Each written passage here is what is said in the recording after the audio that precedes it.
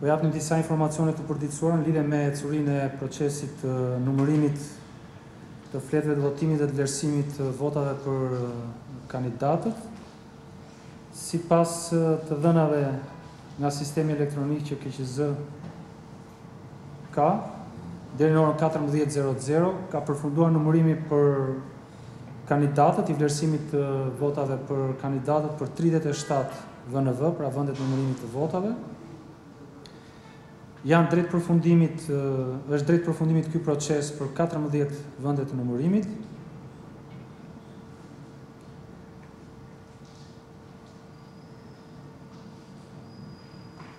Në përgjithësi, ky proces ka shkuar ashtu sikurse janë përcaktuar rregullat në Kodin Zgjedhor dhe në aktet që ka miratuar Komisioni Qendror i Zgjedhjeve, por janë raportuar problematika, në fakt, në disa vende të numërimit të votave, ku anëtarë të grupeve të numërimit, por edhe komisionerë, duket që nuk janë duke i ndjekur ato procedurat në lidhje me vlerësimin e fletëve të votimit sipas atyre përcaktimeve që ka bërë Kodi Zgjedhor dhe aktet nënligjore të Komisionit Qendror të Zgjedhjeve. Kemi dërguar në këto VNV përfaqësues të Komisionit Qendror të Zgjedhjeve, inspektorë të cilët kanë komunikuar me anëtarët e KZAZ-së për të bërë ato qartësimet e duhura kur ka qenë rasti në lidhje me procedurat që duhet të ndiqen për mënyrat e vlerësimit të fletëve të votimit. Gjej rastin edhe njërë të rikonfirmoj atë çfarë kam thënë që ne nuk do të lejojmë asnjë lloj transformimi të votës nga një kandidat në një kandidat tjetër, Për më tepër dua të them që çdo lloj tentative është e kotë pasi Komisioni Qendror i zgjedhjeve i disponon të gjitha filmimet në lidhje me procesin e vlerësimit të fletëve të votimit, bërë kjo në fazën e parë kur ka dalë rezultati për partitë politike dhe koalicionet. Kështu që dua t'i ftoj kandidatët për deputetë që të ndihen të qetë pasi ekzistojnë të gjitha mundësitë për të verifikuar Mbi numrin e votave dhe fletëve të votimit që i përket secilit prej tyre.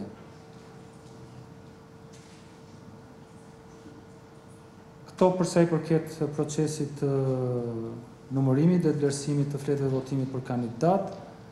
Tashmë që është mbyllur plotësisht procesi i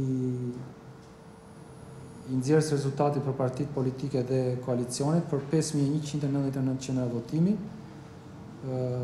Në lidhje me pjesëmarrjen, shifrat janë këto.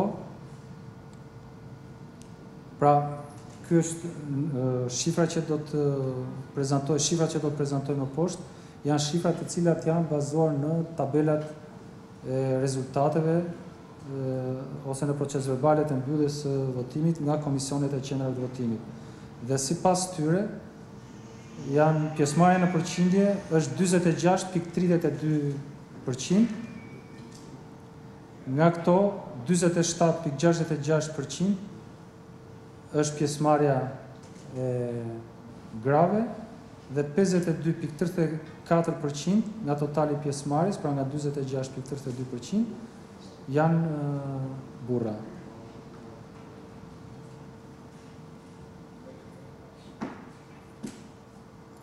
Ka patur disa kërkesa nga institucione dhe subjekte zgjedhore për të marrë pamje filmike të procesit të numërimit të fletëve të votimit gjatë nxjerrjes së rezultatit për partitë politike dhe koalicionet, ka kërkuar Komisariati i Policisë Numër Një, Komisariati i Policisë Numër Dy, Partia Demokratike dhe Lëvizja Socialiste për Integrim kanë kërkuar gjithashtu pamjet filmike të vendit të numërimit të votave dhe të qendrave të votimit. Jemi në proces të vlerësimit të këtyre kërkesave. Ka kërkuar dhe kandidati Aslan Dogjani.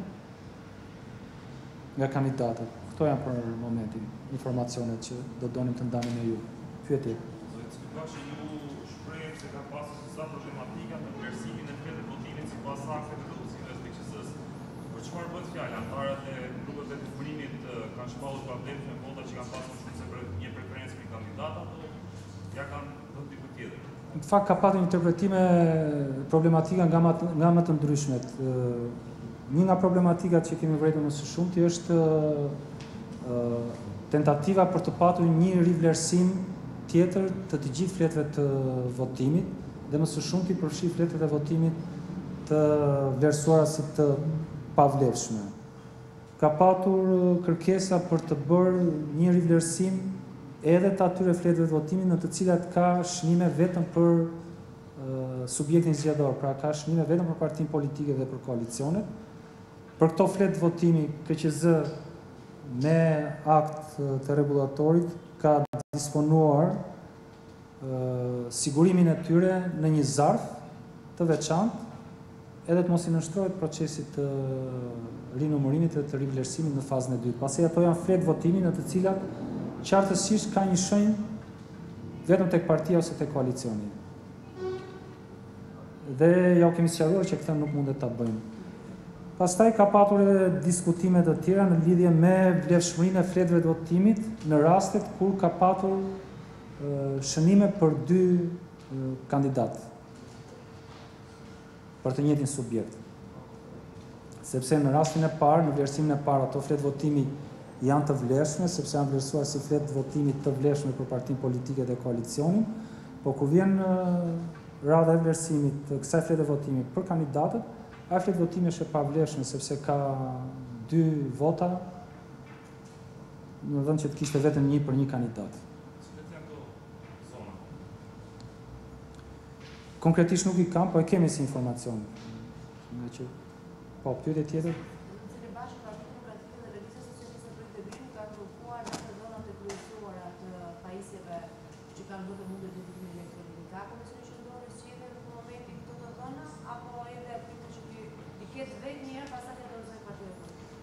Ne kemi të gjithë informacionin në lidhje me Çfarë do duhet të përmbanin pajisjet e identifikimit elektronik?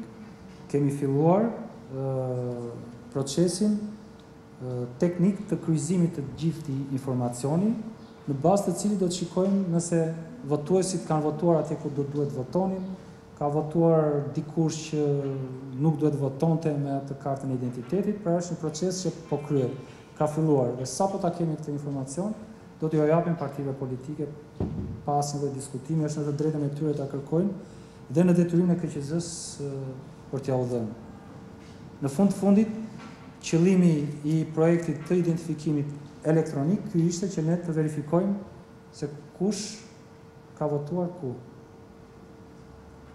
Faleminderit. Pyetje të tjera? Faleminderit.